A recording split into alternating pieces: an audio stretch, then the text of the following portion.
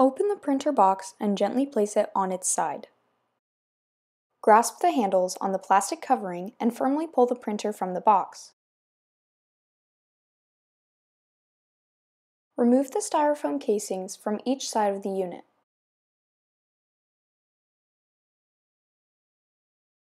Open the protective plastic covering and remove it from the printer.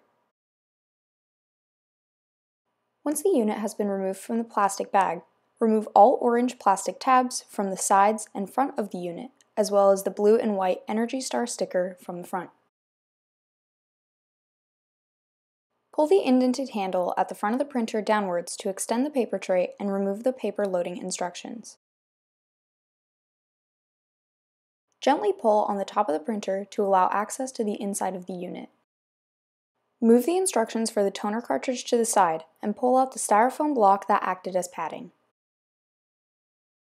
To remove the toner cartridge, grab the handle and gently pull it from inside of the unit.